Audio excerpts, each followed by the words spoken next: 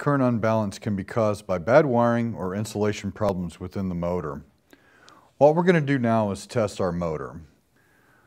Before we do that though, we want to get into our Fluke Connect app so we can save the measurements that we're doing for later purposes. You'll want to download the Fluke Connect app either through the Google Store or through your App Store. As you can see, I've already downloaded the app and I'm going to go ahead and get into the Fluke Connect app. At this point here, we want to go ahead and turn the meter on all the way over to the far right in the orange for our insulation test.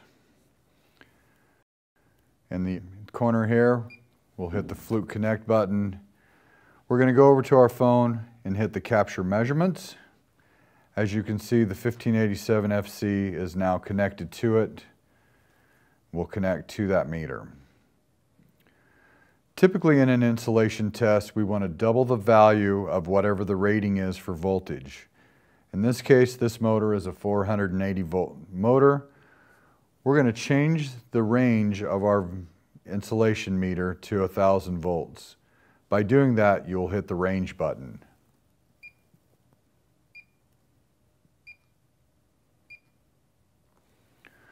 Now that we're at the 1000 volt test, we're going to check the windings of our motor to ground. We're going to change to the next leg by going to the black leg, as you can see here. And again, by hitting the test button, we can perform the test.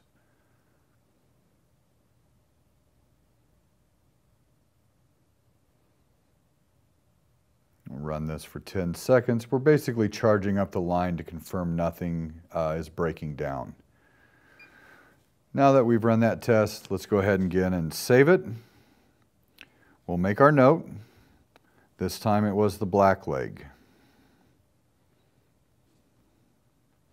We'll hit our done button and we'll go ahead and hit our done button up at the top.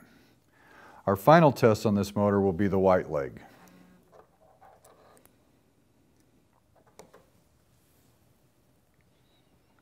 Now that we've connected the white leg, let's go ahead and do the final test.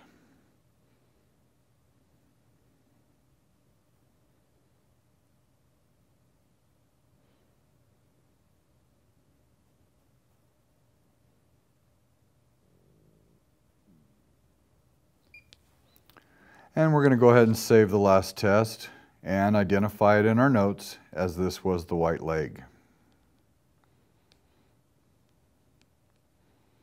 By hitting done, we're done. Now you can see that we've made all three measurements on the legs. We've validated that all measurements were greater than 2.2 gig ohms at 1000 volts DC. This is a good valid test for this motor. We would, if we would seen a problem, we would have definitely seen a lower breakdown in our ohms.